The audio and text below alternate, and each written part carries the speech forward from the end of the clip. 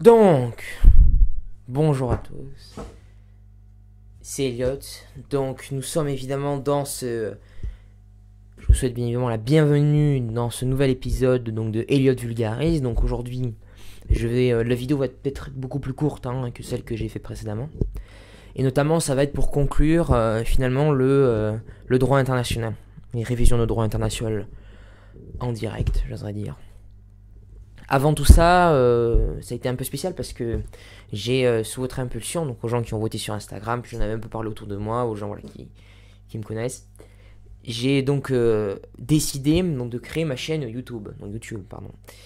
Et, donc j'aimerais voilà, vous remercier parce que la chaîne visiblement vous plaît beaucoup, j'ai reçu des bons retours. Et, euh, voilà, je vous remercie tous collectivement, puisque je vous remercie évidemment tous un par un, c'est la moindre des choses. Mais, euh, mais évidemment, voilà, j'aimerais voilà, tous vous remercier finalement pour votre soutien. Parce que j'ai 31 abonnés, elle a été créée hier et euh, j'ai 31 abonnés. Donc euh, faut bien comprendre que, euh, que c'est pour moi assez gros. Parce qu'en plus, visiblement, ça vous plaît bien. J'ai des bonnes vues sur les vidéos. Donc, donc voilà, donc je vais vous montrer la chaîne YouTube. Donc après, après on va évidemment commencer le droit dur, quoi, j'oserais dire. Donc voilà. Donc la chaîne ressemble à ça, donc ça c'est sur mon compte. Donc il y a évidemment mon site internet, donc je vous recommande d'aller voir. Et évidemment, voilà, ça c'est la chaîne YouTube. Et euh, quand je regarde, voilà, j'ai euh, des bonnes vues visiblement, ça vous plaît bien. Et c'était euh, la dernière vidéo, quoi. Voilà, donc visiblement ça vous plaît bien. Donc j'aimerais voilà, vous remercier, évidemment, encore une fois, merci beaucoup. Bon, ceci étant dit, on va passer au dur du sujet. La dernière fois, donc je vous avais évi- évidemment parlé du droit international, puisque comme je le répète encore une fois, nous avons donc lundi prochain, lundi qui arrive, là, donc lundi, je ne suis pas ma montre, je ne sais plus combien. Euh, nous avons évidemment, euh, voilà, euh, évaluation à distance par QCM. On fera pas de commentaires sur la modalité des, des examens, enfin voilà. Et donc nous avons évaluation de droit international public. Donc, donc évidemment, donc on a pu voir en fait que le cours de du prof en fait s'oriente finalement dans finalement dans qui sont les acteurs quelque part et en prenant quelques exemples de où s'applique le droit international. Donc dans le précédent épisode, j'avais évidemment parlé des États qui sont en fait un peu la, la source originelle de ce droit-là, c'est-à-dire que c'est euh, que c'est- ce sont les, personnes morales auxquelles euh, le droit international a vocation à s'appliquer euh, dans un premier temps. Après, on a vu que c'était de moins en moins vrai, enfin que c'était que du moins la, proportion finalement de droit qui s'appliquait à l'État est, maintenant invalidée par le fait que ça s'applique de plus en plus aux aux organisations internationales. En plus, le droit de l'Union européenne n'aide pas, puisque c'est un droit aussi qui est très, très grand, donc ça vraiment ça, ça aide à finalement surévaluer la proportion du droit international dans, euh, dans la réglementation des relations entre les organisations et la création des organisations et le régime que- auquel elles sont soumises. Mais aussi, j'avais parlé vite fait, euh, notamment que ça s'appliquait aux personnes privées. Ça, j'en avais parlé dans la première vidéo, notamment dans les trucs. euh, j'avais pris des exemples, notamment que le droit international réglait voilà, des, des, des problèmes finalement entre finalement des personnes privées. Euh, par exemple, euh, c'est le cas, on avait parlé, j'avais pris l'exemple de, euh, voilà, vous, c'était le, coup de la Lotus Elise, voilà, voiture anglaise. Et donc j'étais à Monaco, j'avais pris cet exemple-là, et finalement j'avais un accident avec un monégasque, qui avait une plaque monégasque, qui avait une assurance monégasque, et tout ça sont régis évidemment par des règles de droit international qui vont finalement préciser le, le régime applicable dans ces cas-là. Voilà, donc euh, ça c'était ce, ce, euh, ce que j'avais dit. Donc aujourd'hui on va poursuivre dans ça, notamment on va poursuivre finalement dans, euh, dans ce qu'on appelle les... alors ça c'est l'exemple du cours, c'est le prof prend ça beaucoup en exemple, c'est-à-dire en fait c'est c'est typiquement en fait le droit international va avoir des effets sous la re- sous enfin excusez-moi l'État euh, va être donc l'État est signataire de la convention de la précédente convention que je vais vous présenter va donc être soumis finalement à un, euh, euh, régime très particulier de protection des personnes morales de droit privé, de droit privé je précise, donc des personnes privées, étrangères, sur le sol de l'État. Donc c'est-à-dire, c'est... Et en général, ce sont des, accords qui principalement sont des accords économiques. C'est ce qu'on appelle les accords de protection des investissements. Il faut bien comprendre en fait que, que la protection des investissements, notamment, elle est allée, euh, elle se développe de plus en plus, notamment sous l'impulsion de la, bah, le commerce, quoi. Le commerce, évidemment. euh, voilà. Et puis, on a des États qui, sont de plus en plus puissants. Et, euh, voilà. Et en plus, on est dans un continent où on est soumis finalement au règlement de l'Union Européenne, à toutes ces normes, à son ordre juridique. Et, l'Union Européenne négocie énormément de ce genre d'accords. On va en parler plus précisément. Mais avant de parler de tout ça, voilà, c'est ce que je voulais dire, évidemment. donc finalement, on est finalement dans des relations stricto sensu avec les États, c'est-à-dire que ce sont les États qui vont être soumis finalement à un régime en, signant la convention, en ratifiant ses effets, en conférant un effet direct finalement à ces traités qui vont donc évidemment protéger voilà, des, des, personnes morales de droit privé étrangers. Donc alors, ça a commencé notamment dans les années 80, mais en fait, il faut bien comprendre que ça existait un peu déjà avant, mais sauf que c'était coutumier. C'était coutumier parce qu'en fait, on, euh, c'était assez mal vu. Enfin, c'était pas vraiment le, c'était vraiment, c'était, on avait une conception de la souveraineté en fait qui, euh, en gros, qui était très, euh, notamment sur les segments économiques, qui ne devaient pas avoir de limitation, qui ne devaient pas avoir d'atténuation, auquel l'État avait tout droit de faire ce qu'il voulait. C'est notamment, euh, ça, alors, ça a commencé à être invalidé au début des années 80, 85, tout ça, etc., etc., on a commencé à avoir des traités qui ont, par exemple, ratifié des coutumes internationales qui étaient beaucoup plus anciennes, peut-être du 19e, voire du 18e hein, même, qui étaient notamment euh, cette coutume un peu que tout le monde connaît, c'est-à-dire qui est le fait que l'État est soumis, l'État donc est soumis à une coutume de ne pas exproprier euh, des personnes étrangères, c'est-à-dire qu'il ne peut pas exproprier des personnes étrangères, ou du moins dans des conditions qui vont être exorbitantes par rapport au droit qu'il va appliquer à ses propres sortissants. Je sais pas, si par exemple un État n'a pas, ne prévoit pas, euh, donc c'est pas vraiment le cas en France, puisqu'on a vraiment euh, tout un droit qui est, et puis nous avons évidemment euh, voilà, la Constitution qui, le, catalogue des droits qui nous explique, qui nous donne, nous circonscrit finalement un régime applicable aux expropriations publiques, pour utilité publique, donc d'intérêt général.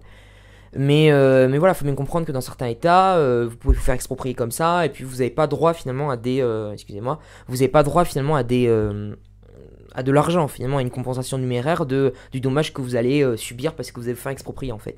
Donc en fait, ce qui se passe, c'est que bah, les coutumes internationales fait ont mis finalement le régime qui est applicable aux ressortissants français. Vous expropriez un État étranger exproprie un ressortissant étranger, il doit lui donner une, somme numéraire ou lui fournir un avantage quelconque ou le réparer du moins, réparer le dommage qu'il subit.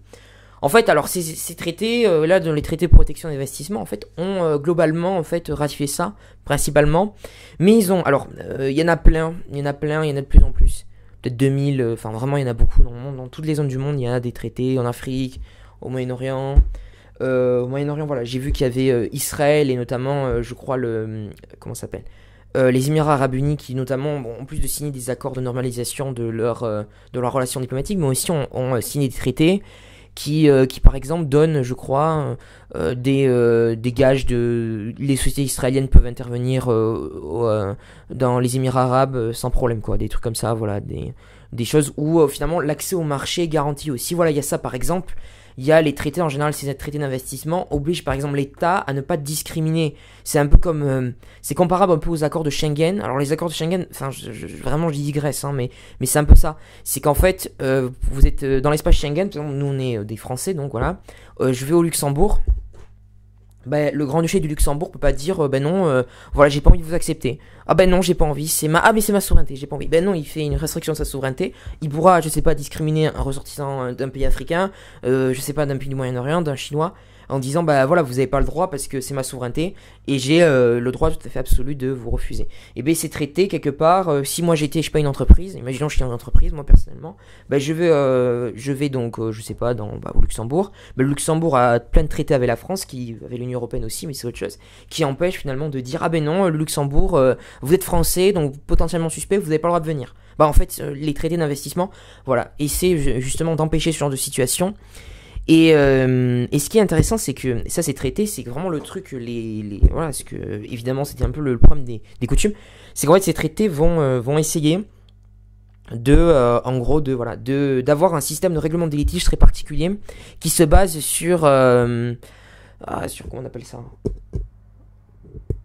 Sur l'arbitrage. Voilà, excusez-moi, j'ai eu un gros blanc. Voilà, j'ai pensé. Je pensais à l'article 1459 du Code de procédure civile et c'est ça. C'est l'arbitrage. Donc en général, c'est des, c'est des, ces, traités en fait prévoient la création finalement d'autorités arbitrales.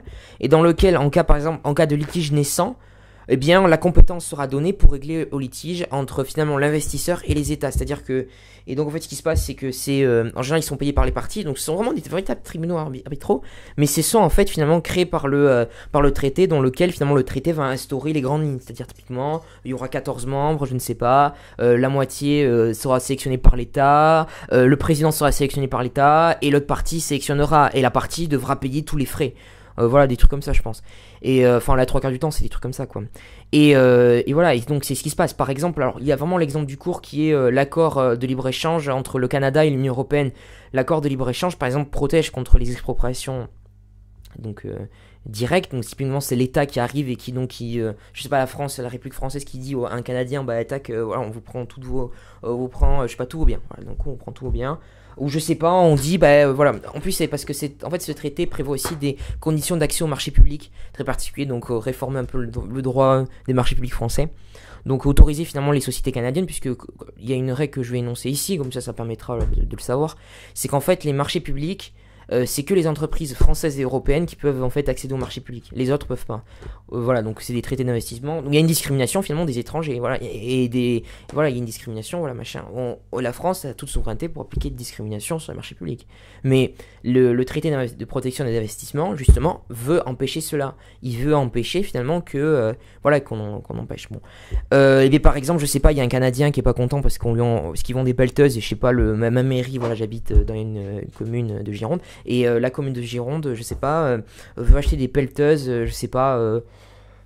j'ai pas, j'ai pas de marque de pelleteuse, mais bon, Mécalac. Bon, Mécalac c'est français, mais imaginons que c'est canadien, c'est québécois. Tiens, voilà, Mécalac, hein, c'est canadien, c'est québécois. Bon, c'est les Québécois qui fabriquent ça, des très bonnes pelleteuses d'ailleurs, vraiment quatre motrices, impeccable, formidable. Et en fait, on leur dit, ben non, voilà, on n'a pas envie. Ah bon, vous avez pas envie pour faire l'accent québécois, mais dire voilà, euh, mais moi je ne suis pas content. Je vais donc saisir ce tribunal d'arbitrage, donc qui est. Euh, alors, ce qui est assez intéressant, c'est que le traité de le traité la Union européenne Canada vraiment est très euh, donc j'ai oublié le nom d'ailleurs, je sais plus comment il s'appelle, la LOCA, la CK, je sais plus.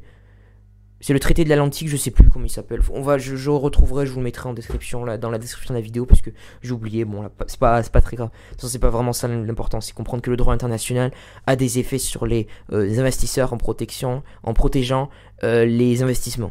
Voilà. Et par exemple, ce traité prévoit, voilà, que le Canada, euh, voilà, enfin qu'un investisseur canadien pas content ou un investisseur français pas content au Canada pourra saisir et devra, je crois qu'il y a deux, quatre membres membres précisément. Euh, donc deux sont sélectionnés et euh, le président est sélectionné par euh, l'État. par l'État. Voilà, c'est comme ça.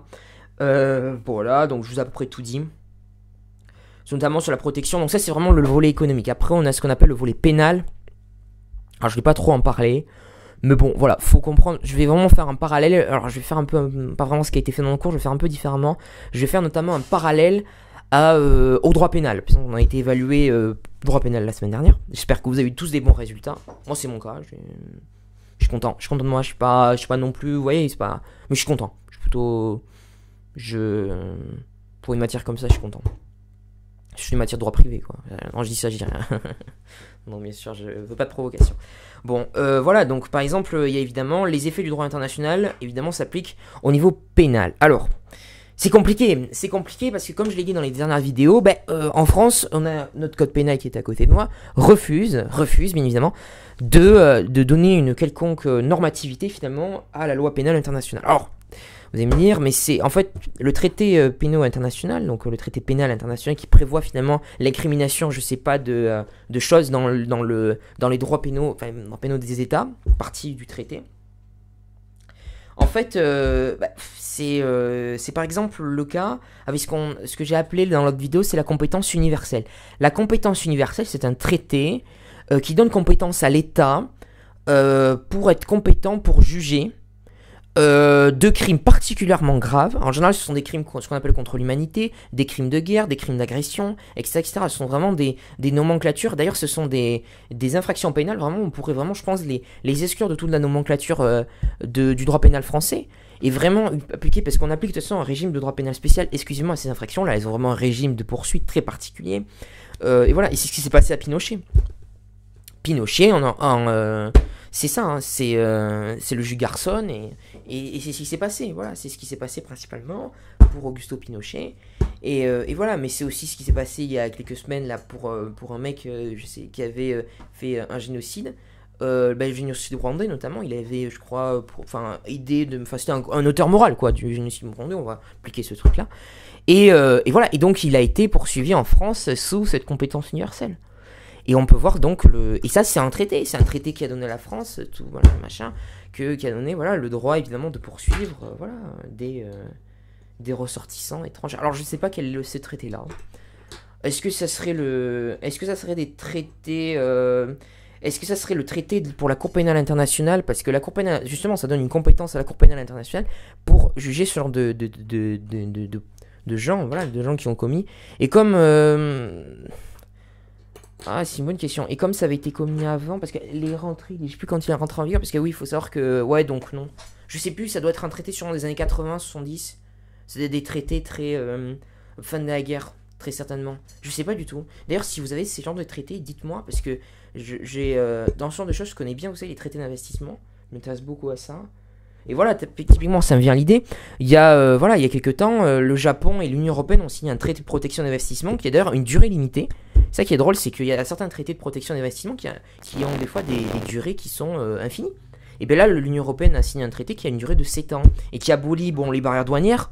Donc c'est-à-dire que le Canada, enfin euh, le Japon, l'empire du Japon ne devra plus payer de taxes douanières et nous non plus pour leur vendre, euh, pour vendre des Toyota, ben, ils pourront importer leur Toyota comme ça. Et nous pour leur vendre, je sais pas, de l'alcool, ben, on pourra passer les barrières douanières comme ça, sans problème. Mais en plus, il y a des traités de protection d'investissement, ils peuvent accéder au marché public français et on peut accéder au marché public au Japon, quoi. Voilà. Ils ne doivent pas faire de discrimination. S'ils font des discriminations, pareil, tribunal d'arbitrage, etc., etc.